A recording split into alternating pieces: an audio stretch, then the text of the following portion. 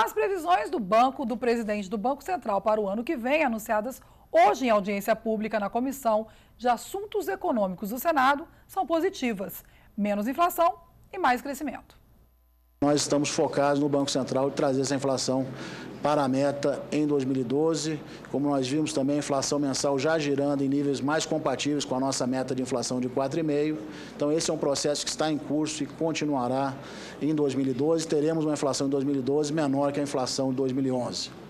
A visão no Banco Central de que o crescimento econômico no Brasil em 2012 será maior do que o crescimento observado em 2011 e o crescimento no segundo semestre de 2012 será maior do que o crescimento no primeiro semestre de 2012.